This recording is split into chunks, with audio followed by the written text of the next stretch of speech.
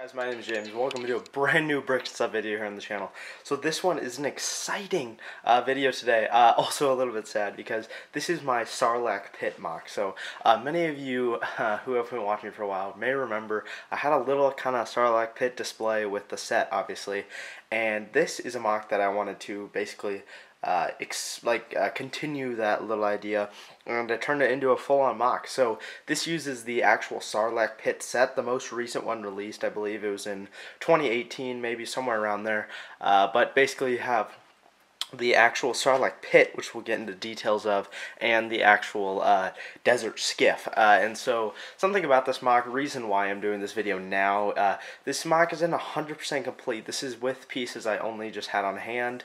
Uh, I think I could definitely make it better, but I do need these parts for Raider's Castle, uh, which hopefully part one will be coming in a couple weeks here, guys. Sorry uh, for the delay, but yeah, let's go ahead and jump right into it right now. See the actual desert skiff. So basically, it's exactly like in Return of the Jedi, about as close as I could get. You have Luke Skywalker here right on the edge, about to jump off the uh, the platform into the Sarlacc pit, but obviously in the movie he actually like does like a backflip, really cool scene. Uh, and then you have a skiff guard, I believe, uh, or just one of Jabba's kind of henchmen like dudes there, uh, kind of poking the stick at him, just like in the movie, like hey, get off the thing. Uh, and then to the uh, to the left, uh, or to the left on your screen, to the right of Luke, uh, we have Han and Chewie. Han, obviously, in his Return of the Jedi, straight out of carbonite attire. Uh, this is, I believe, this figure. Um, uh, th actually, this figure comes in the set. Sorry. uh, yeah, so the, I think all the figures came in the set except for the uh, Luke Skywalker and the Boba Fett. Uh, so then you have Chewbacca there as well, both kind of uh, handcuffed. Chewbacca for some reason isn't, but maybe he's escaping. Uh, and then up top you have Boba Fett. you guys probably remember Boba Fett. this is where he supposedly dies. He might be coming back in the Mandalorian. We don't know yet. but basically, yeah, you have Boba Fett just kind of on some clear bricks flying around. we can get a full shot here. That's the entire skiff area. The skiff itself is just held up by a couple, uh, or a little, a little bit of clear bricks. Nothing too, too crazy. Uh, but obviously to imply that it's floating, even though y'all really know it's not.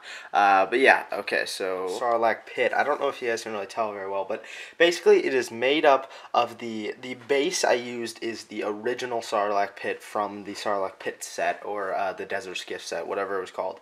Uh, so you still have that function function uh, that the set had where you can open it uh, and close it with that. Let, let me show that mechanism down there. You can see the the little Technic pins there and then you simply pull here and push down and obviously it opens up and whatnot. You could put Boba Fett in there if you want to.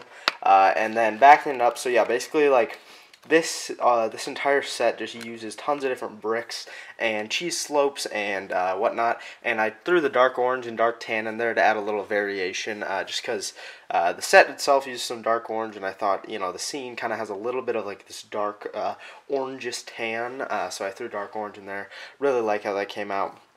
Uh, again, just lots of kind of random greebling pieces, and obviously it's kind of supposed to make the uh, spherical kind of pit uh, type uh, thing uh, yeah, so that is honestly that's pretty much the entire MOC. So let's go ahead and go into the open. Enjoy this MOC. Obviously, it's a little different than any other MOCs I've done. Again, it's a one base plate MOC, and sadly, I will be destroying this MOC. I did want to bring it to Brickworld uh, this summer, but obviously those are canceled uh, because of everything that's going on in the world right now. Uh, but yeah, I hope you guys have a great day. Again, check me out in the description. You can check me out on Instagram, check me out on Twitter, and obviously check me out here on YouTube.